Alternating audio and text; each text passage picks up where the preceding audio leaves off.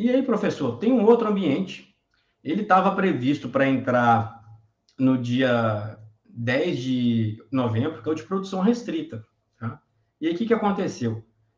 Com essa quantidade de ajustes que a gente faz no sistema e melhorias, a gente tirou é, esse sistema de, de entrar no ar em novembro. É um ambiente de produção restrita. O que, que é isso?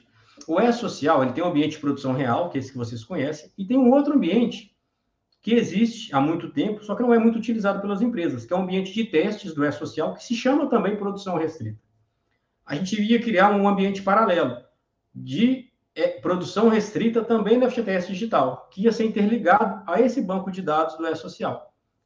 Ele vai acontecer ainda, só que não vai ser mais agora no dia 10 de novembro, vai ser mais para frente. E aí sim, esse é um ambiente de dados fictícios. Você pode transmitir o que você quiser para o E-Social, inclusive é, dados que não existem, simular um desligamento de um trabalhador, que ele ia chegar nesse ambiente de testes também do FGTS digital, para você ver e definir, por exemplo, quanto que daria a multa para aquele trabalhador, tá? Então, ele ainda não vai entrar em novembro, a gente não sabe qual data que ele vai entrar, mas ele vai ser paralelo, vai ter um ambiente de produção e vai ter esse ambiente de produção restrita, que é o ambiente de testes para vocês fazerem também no edital 1 ele vinha, ele vinha escrito lá nessa fase de vinha. dia 10 ao dia 31, ele vinha escrito que era, era preparação para, para entrar, entrada efetiva em produção e ambiente de teste, né? E, e ambiente de teste produção restrita. É, sumiu de lá, reparou isso, né? É, nessa atualização não vem mais, né? Não vem mais escrito isso. Foi por causa disso.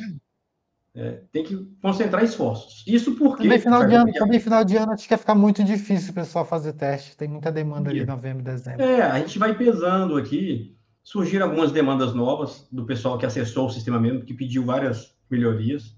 E a gente ouviu. Então, tipo, fez uma troca, né? Porque não tem como atender tudo. Ó, vamos fazer isso aqui que é mais importante agora, deixa esse, essa atividade aqui para um pouco depois.